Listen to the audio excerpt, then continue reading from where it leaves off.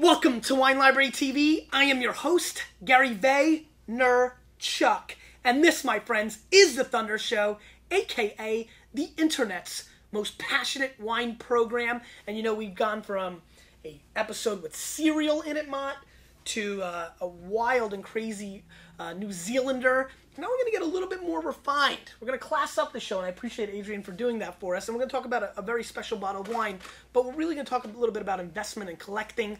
Uh, Adrian, thanks for being on the show. Thanks, thanks a lot, Gary. Nice And why don't you here. tell the Vayner Nation who you are and uh, why you were interested in being on the show and the kind of things we want to talk about today?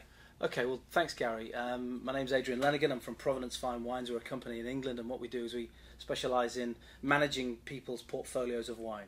You know, for the purposes of them collecting it and selling it down the line. You know, investment, for want of a better word. And obviously, in the UK and in London and Europe in general, it's a little bit more of an open market than we have here in the US, and it's more of a common thing to happen over there than here, where it's a little bit clunkier because people can't ship and the way wine's traded. Hopefully, that's opening up. Obviously, auction houses are uh, about and around, and plenty of people do trade wine in the US, but it is more of a common action over in the UK. It used to be considered really exotic. You know, as you know, uh, it used to be considered quite ridiculous to collect wine for the purposes of selling it That's at a right. later date.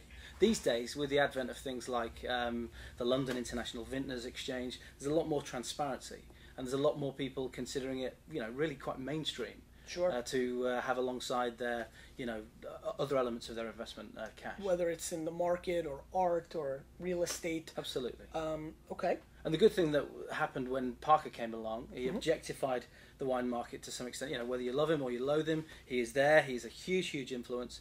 And what he has done these days is he has really he set the benchmark so that if you do want to invest in wine, you really need to look at his scorings. What? No question. We feel it on the retail side. Hmm. Where where do you see the market going? That you've opened up that can of worms. I mean, he's a human being, right? He is. Um, and he's not 25. Luckily, he's still a young guy. But he can't fundamentally. None of us can be around forever. Of course. What do you think the impact of Parker's, whether he retires or hopefully he goes to he's 150, but one day Hmm. you know he's out of the market? What do you think happens to the wine market? It's a good question because it's one we get asked a lot. You know, our clients ask it, "What if he dies?" You know, there's no point uh, beating around the bush. He's not going to be around forever, and he is very influential. But especially on this pre. I'm sorry to interrupt. No, especially because. I'm going to get yelled at for that. Especially uh, for the premium premium market. Yeah. The, the kind of dollars. I mean, we feel it for our top 90 clients who all you know spend you know heavy five figures into six figures Hmm. a year in wine.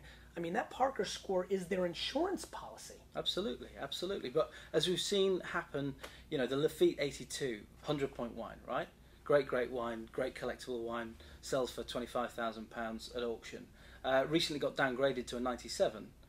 Not the blindest bit of difference. Once a wine achieves a certain age and a certain level of uh, quality and demand, But downgraded be by there. him. By him, yes. So that's the important distinction there, right? Yeah, I mean, yeah, absolutely. I mean, we have not seen, and wine, at least in the U.S., we have not seen it continue to move the needle from, pa- you know, Hugh Johnson, Flanagan. I mean, there's Yeah. been names prior to Parker. Hmm. Obviously, nobody has ever achieved this status. It's going to be a very dynamic question. But it, but it will change. Yeah, you it know. will. You're here. Well, I don't know if I really, you know, I appreciate that yeah, I know, but kind, you, get, but you know, you're on the front page of the New York Times yesterday. yes, that was exciting. And um, Robert, Robert Parker's influence, although it is huge, it's not going to be there forever. He is going to. But my whole thing is don't listen to me. Sure, sure. You know, I mean, sure. and my yeah, your philosophy is different. Yeah. It really is, especially when it comes to. I love the great. I mean, look, we have this amazing Burgundy here, Hmm. which I'm glad to see that you haven't had much experience with it, so I think you're gonna like it. Um, and I love what Latour brings to the table. Yeah. But what I'm more passionate about is getting people to really trust themselves, and two, to try different things. That's really, you know, I want to debate why can a Bordeaux get 100 points? Why can't the best Rieslings in the world get 100 points? Absolutely. Why can't the great Chinon producer? You know, so, I mean, you know, if God forbid anybody listens to me, but that being said, um, I do think that the web itself, with sites like Corked and you know CellarTracker and things of that nature, Macha Smile he the forum guys are gonna make fun of me for Corked, are gonna give that aggregate score model. It, there'll definitely be voices, whether it's one person or a community. Yeah, There's sure. the collecting of wine and the rarity and the interest level from places like China and Asia, especially, and, and Huge, Russia. huge. That's gonna, you know, they can't make much more of this. No, absolutely. That's This what is- it's all about. That- so, so this, if you understand the pure economics of it, Mm-hmm. it's a very intriguing investment, especially because not only is there supply demand, there's only 500 cases of this. Now it's not just about the UK and the US, Asia, Russia. You know, collectors popping up in Australia, New Zealand, now all clamoring for the same thing. Yeah. Some of it actually gets consumed too. Yeah, I know. Yeah, G- Let's not unbelievable. Let's not forget it. Go figure. Um, so that's very fascinating. Yeah, absolutely. You know what we've seen over the years um, in the European side of things is that whilst it is very much the, the top level Bordeaux's and, and, and certain other wines that really get the notice, it's What are the certain other wines? Are, are- are Super Tuscans coming out? Sassicaias and Sassicaia, yeah, is Will, de- will high-end there. ports still move? Less Port- and less, Port's right? a strange one. We're, we're probably not seeing it so much at the No. moment. Um, It's really collapsed in the last 10 years. Yeah, absolutely. I mean, 94 port in the U.S. I had somebody threaten to punch me in the face if I didn't get him six bottles of Taylor. really I mean, the emotions were huge. extreme. That was on the extreme side, but you know, I, I understand that style. Um, uh, what really surprises me is that virtually no collector mentions port to me now. No, it's true, but it's it's fashion, isn't it? Sure. It's fashion. It sure Port isn't is. fashionable. You know, The other thing I think they did wrong is they declared too many vintages in a row as the best. Yeah, I mean, when you cry wolf, you Yeah, know, I mean, true. you know, not everything can be the greatest vintage ever. Absolutely. Um, other regions, you know, I'd be interested to hear what you think. Some of the top Australians, still early They days. but- collapsed in the U.S. The premium. I mean, you still get the Hill of Grace and the Grange. Yeah, it's can- maybe four or five wines. it's gone back, right? Yeah, Hasn't yeah, it? Yeah. But um, but it's certainly an interesting time because you know we're seeing more and more people do it. Companies like myself, we're having, we're using, we're wanting to use more and more different marketing techniques. You know, obviously we love what you do. Uh, we love the social media side of things, and it's England, right? It's pretty it's pretty staid. Europe's pretty staid. How much does Jancis command in the UK market respect from the high-end collectors? She's- Because her respect level in the world is, I might think, is the single. I mean, I don't know. I think Jancis is probably this uh, within the trade, probably the single most respected critic in the world. Within the trade, I think that's very, very But the important. consumers But the consumers, perhaps not so much. You know, she's certainly revered think- in, in the Do you, country. do you think that if she went away from the twenty-point scale and went to the hundred-point scale, that it could have an impact? She'd be reluctant, though, wouldn't she? Right? Yeah, I mean, she said it here in the show that you know it's that's the way she scored, or maybe she said that over tea when we had it. I don't remember, but I, I respect it immensely. Um, do you think that the common collector needs that distinction between a 99, and 98, and 97, and 96, and that 18, 19, and 20 don't do it for them? I think that in reality, the 20 point scale with its allowance for um, a bit more subtlety, because it makes it makes you look past the number. You know, it makes Yeah. you look into the words themselves, which is very, very important. And you know, that's why she's reluctant to uh, relinquish that certainly. But people want numbers. They want what they consider to be objectivity, and that's what numbers pro- provide, right? Sure. You know, so people will say, "Well, it's a 97 and that's a 96," and Will they'll, a, they'll will a- think it's will better, a and it might not be. Well, a 20 of 20, uh, how often does she go that extreme? Rarely, right? Very, very rarely. will a 20 of 20 which i knew which, will a 20 of 20 move the market for you guys Uh, I would think so. Yeah, if she definitely. goes but- and gives 07 Sassicaia a 20 of 20 do you think you feel it Well, what do you? What do you, I'm interested to hear what you think over this side of well the her Atlantic. her presence in the us is respected but we don't feel it on the consumer side the way we do with many other entities. I think, which yeah, is sad totally which is something you, i'm like trying to figure out. I'm like i'm like i dm'd her on twitter last night like we got to get i mean because she's lovely and she's highly respected and, um, she's a force uh, and i think she's got an amazing palate uh, it'd be interesting to see what happens I, I don't know i mean i think the the sexy thing to say is that more people care about you know what i say and i'm the hot ticket but i just don't see that i, I not especially the way i'm positioned Sure, sure. know- I mean, you don't you don't want to be I don't want that it. influence. You I don't want, want it. You know, you want people to go out there and do it themselves, which is great. It's a very very different thing. It is, but on the on the high end, when you start getting into these, you know, six seven figure peeps, um, Hmm. there's definitely going to be several voices. I, I don't see people. You know, I, I think that's going to still stay for quite a long time. Absolutely. And talking about you know the real high end at the moment, Bordeaux 2008, the Mm-hmm. campaign that just happened was very very interesting because. The, there was an organisation in England called the Liv-ex, London International Mm-hmm. Vintners Exchange, and they've always been calling for more and more transparency. And it seems that the Bordeaux Negociant, you know, it's not it's not what they want really. It's not their DNA. and uh, and, and Parker, you know, he, he scores the wines, um, and there is some talk of you know they, they want independent verification of tasting samples. I'd, I'd really be interested to hear what you think about Well, I think all I, of think that. I think that I think that uh, transparency is awesome. I mean, I think one of the things that works for this show is that um, listen, I'm probably the least positioned for people to trust because I have a retail store, and that's not the American culture to listen to your retailer. You know, it's the old days, 50s and 40s, and you know, trust your local retailer. The butcher Hmm. Yeah. will, will give you the best piece Yeah, of meat. yeah. But what I think has really worked is that I taste for the first time in front of them, and I don't edit, and I'm not really capable of hiding my emotions as they know. So I, I think, yeah, I mean, I think that if if anything that makes things more transparent, I mean, if Parker reviewed every one of his Bordeaux sample 2009s on video on live stream, that'd be powerful. be incredible. You know, you, you know, you, you'd have a much better sense of how he does it, where he does it. Yeah. Um, I respect that. Listen, uh, 2008 is very fascinating. Parker, Absolutely. Parker is probably higher on 08 Bordeaux than anybody in the world. Yeah, and it was a massive, massive shock.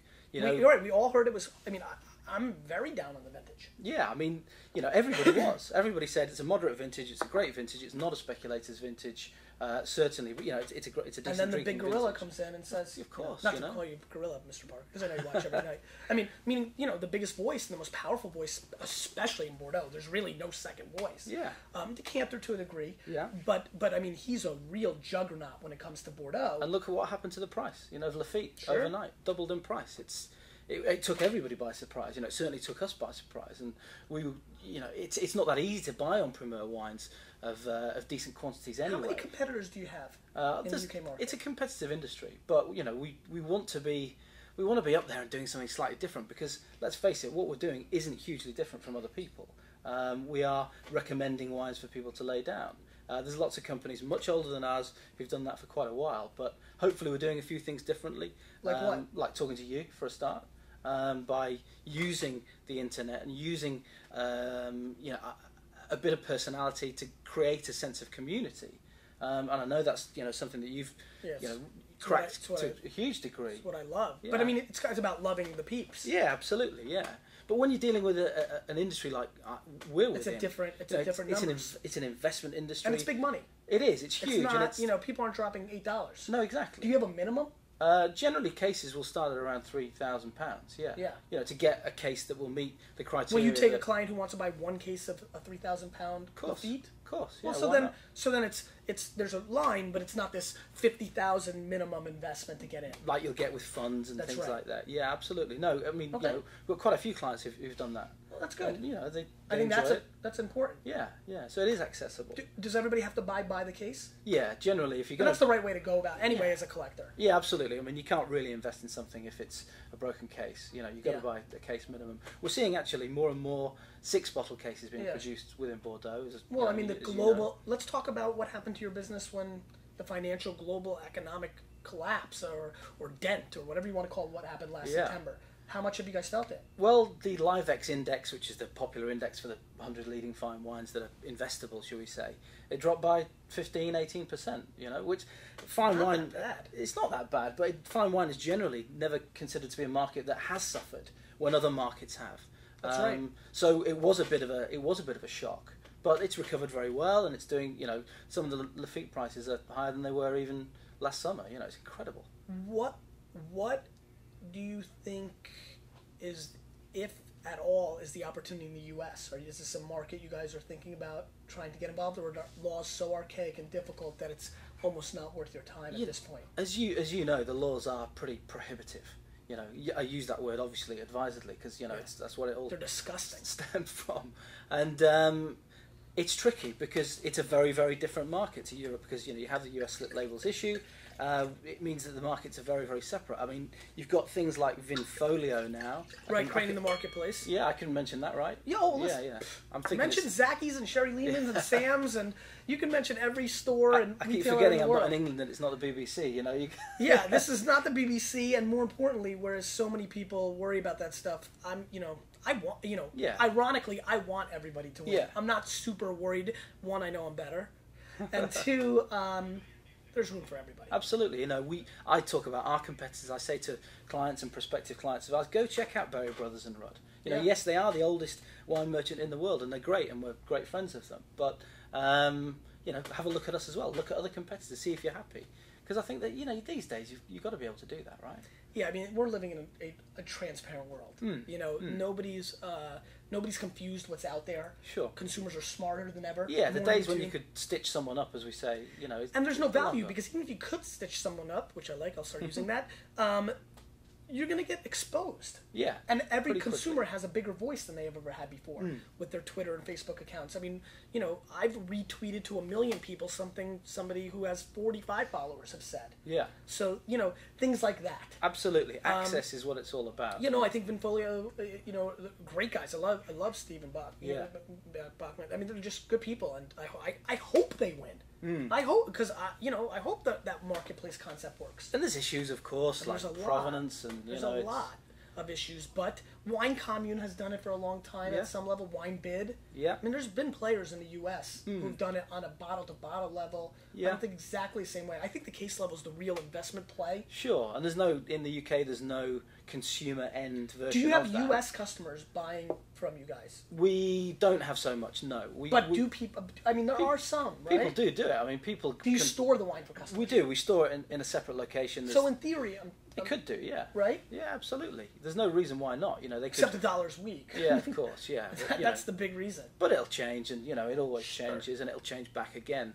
And you know, it's just diversity. It's just have something different. That's what that's what people say. More and more, the press in the UK are starting to really sort of take notice. Now, are you an entrepreneur, or is wine a passion of yours? Is it a little bit of both? Where, where does that all break down? I, would say first and foremost, Guy, I'd have to be hon- honest. I am an entrepreneur. Yeah, I mean, I used to work um, in the film business, uh, which was great. It was great fun, and I got to travel and all, all of those things. You know, I wasn't. It wasn't very glamorous for me personally. You know, I wasn't doing anything hugely exciting. You other weren't than, acting in it. No, I wasn't. I was, but I was doing a lot of observing, and I got to meet a lot of different people, and it was very, very exciting.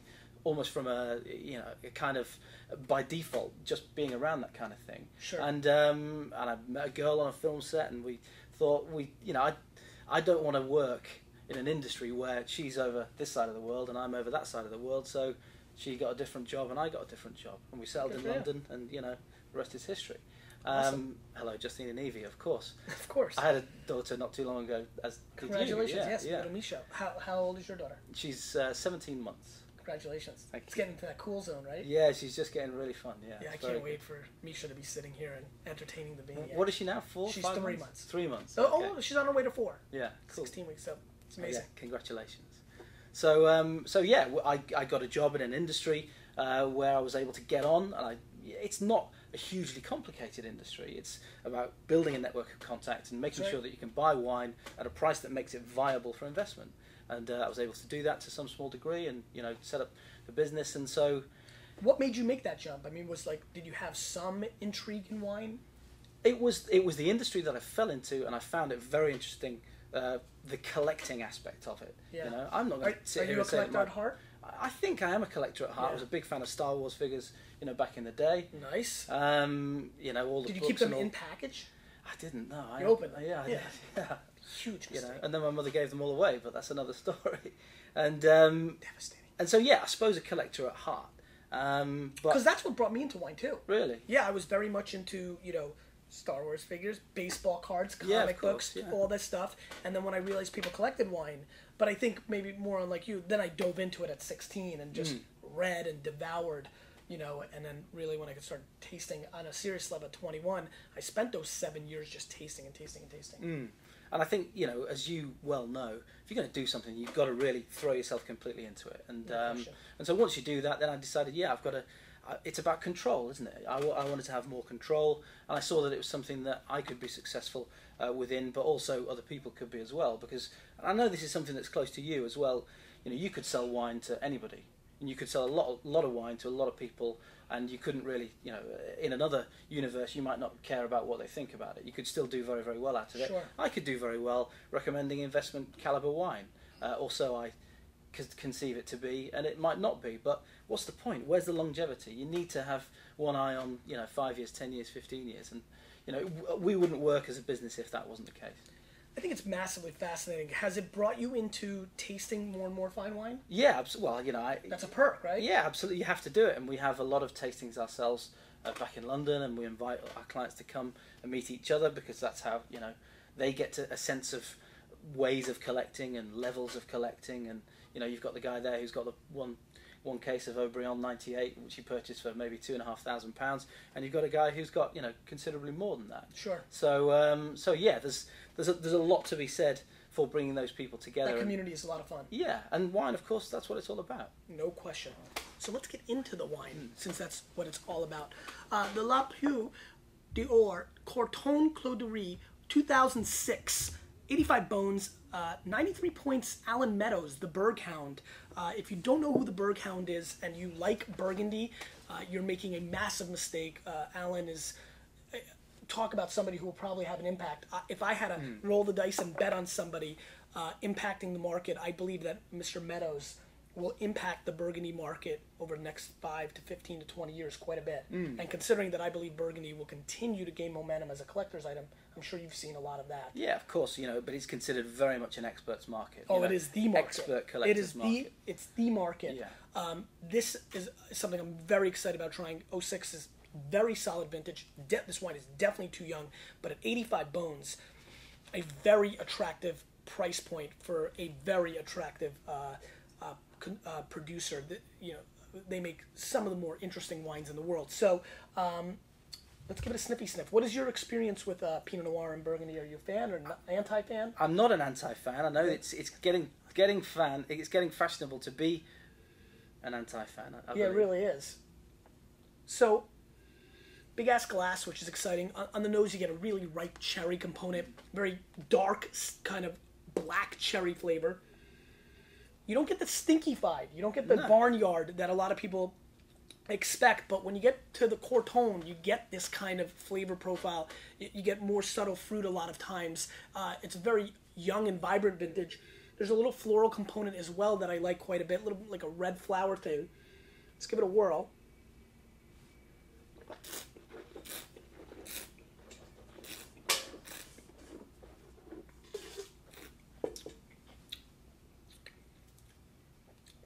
Do you think about this wine? Yeah, I mean, as a, as a Don't remember. I could care less where you go. no, I. I appreciate that. You know, and you've been very upfront the whole time. So yeah, just I mean, rail it or love it. No, I do like it. I'm not. I'm not a huge fan of it. I'm not going to. Is it too bitter on the I back end for you? No, I think it's not. It. I think, as you say, it probably is slightly young. It's more than slightly young. Yeah. Um, so I'm not overcome. I'm not overcome either either way. Mm-hmm. Um, you know, I'm someone. I think you talk about it in a chapter of your book.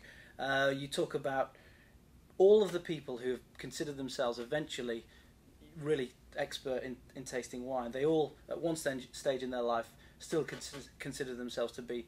I'm not sure. I'm not sure I can do this. You know, Mm-hmm. I'm probably there still. Yeah, I respect that. You know? I mean, you, how long have you been doing this? Well, tasting wine in, Sure, in this I mean- in this way, in- what five six years, something Yeah, like I that. mean- but, you know, at at a decent level, and I, st- I still think you know there's there's a lot I have to learn about tasting. Well, we all do. I mean, even Yeah. all the way up to the, you know, I can promise you right now, we can talk about a category of wine, whether it's Greek white wines Hmm. or or subtle, obscure varietals from Italy or Portugal, that even the greats from, you know, Jancis and Robert Parker are still not in a, in a place where they're comfortable because it's Hmm. not what they consume often. I can imagine for you, you know, clarets is something you're more comfortable with than, let's say, Tocai Friulano. Yeah, sure. I mean, I, And there's varietals you have never even probably had yet. I- absolutely. Yeah, so- I mean, ir- ironically, you know, there's a lot of uh, claret and there's a lot of uh, that around that we do have at our tastings. But personally, I'm a big, you know, a big fan of the fruit forward Shiraz Shirazes coming from Barossa Valley. Yeah, you know, I hear figure. It's, it's, it's No, listen. There's it's funny. My palate's moving back towards bigger fruit as well. Let me break this down for them. I know we're having fun. Um, really bitter on the back end. You, you get some of that green stem kind of thing going on, so it's a little disjointed. It's extremely young, but you can't deny the power. It's kind of like the 11 year old at 6'1 that plays in the Little League World Series, or you know, you can't deny it's going somewhere. Melody Oudin. I don't know if you caught this whole phenomenon. The little spunky, you know, 17 year old from Georgia who caused a lot of ruckus at the U.S. Open. She got her butt beaten the other night, but you clearly know she's on her way to win championships because she's got a killer instinct. This wine, though awkward, and can occasionally hit the 300 foot home run, even though it's 11 years old, is going to strike out a lot. It's just too young. Uh, it's, it's disjointed. It's even it's even showing more youth and more awkwardness and tightness than I even expected. I just recently did a bunch of 06s that kind of are showing fairly well. This hasn't been open long enough, and nor has it been decanted, so we're not giving it a fair shot. But the elements are in place here. The fruit is very pure and focused. The structure on the mid palate is shocking. That transition fruit from the beginning up front, kind of black cherry that I taste, that then goes into that kind of green floral component is seamless even at this point and that's very impressive for a wine like this it's got clearly 12 15 18 years of cellar uh, ability to it.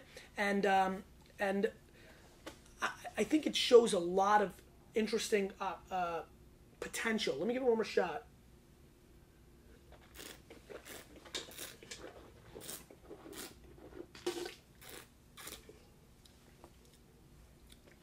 There's definitely kind of almost a slight cocoa component. Uh, also, I also get a little bit of like um on the back end now a um, sun dried tomato component a little bit. I love how you do that. You know, it's it's something that I experience at tastings a lot, where someone says something and someone comes up with um, an idea, and I go, you know, I was. Do you think that's power? Do you think that. it's power of, of persuasion, or do you think it's just kind of like it's there? I, I don't know. Like I mean, for me, it's just it's so obvious what I'm tasting. And your but your experience of tasting is huge, and you know we've all read about the extent to which you've gone to, to do that. You know, pretty pretty extreme again. But I really wish those days were still around. I was tasting like 70, 80 wines a day. rocks and you know all yeah, all that it. stuff. But then when I was like 21 to like Yeah. actually, it really started happening 21 to 26. Yeah. I mean, I was in a period of time there. I was tasting a lot of wine. Developing this business and Sure. you know doing doing all of that. I wanted to really understand. yeah, you know. yeah. So, great wine. I would score it 91 points here, but I'm going to score this wine 91 question mark. Sorry, SS. Uh, I think it's uh, I think it's um, it's it's a wine that I'd love to see where it develops going forward, and just really one of the most tight, almost non breakdownable wines, if that makes any sense, which it doesn't. You know, just can't really get there yet. The shield is too powerful. It's kind of like a Star Wars reference, the Death Star. There's only there's only a little opening that Luke was able to get through. You know, that's kind of what's going on here. Um, but a, a, a very profound wine, and definitely when you talk about collectors, Le Poix, uh, Le, Le Poix is definitely a producer that a lot of people get excited about. Maybe as this wine ages, the tractor beam will uh, will go down. Yes, I think you're right. Thank you so much for being on the show. No problem at Is all. Is there anything you want to leave uh, the nation with? Any Um, thoughts? well, I was actually having a quick chat with Mott before you came in about. Well, I know um, he's a superstar. About, I know. I'm you starting to autograph? realise that. I, uh, yeah, absolutely. Yeah. And um, we were talking about England and about uh, famous British exports, and of course, you know, the Beatles is, is one of the most famous ones. You know, Liverpool's very close to my heart because it's the football, so Sure. soccer team Yep. that I follow, and um, and of course they've just released the new remastered Beatles albums, all of them, I know. uh, in stereos. Amazing. So if Uh, the Spice Girls, yes, Would be another- ano- another huge export. huge export. Okay, well, I'll expand the question slightly then. If uh, if you were to choose a Beatle um, to be a Oh. wine, you know, which is John, which is George, which is Paul, which is Ringo, This is a phenomenal. So you want them in the comments section to Yeah. list them and then say which wine and why? Yeah, you know, maybe John's a revolutionary wine. Maybe he's, you know, who knows? You, you decide. One of the better questions, Adrian. Gary, thank, Thank you so much. Thanks for being here. Thanks. You, with a little bit of me, we're changing the wine world.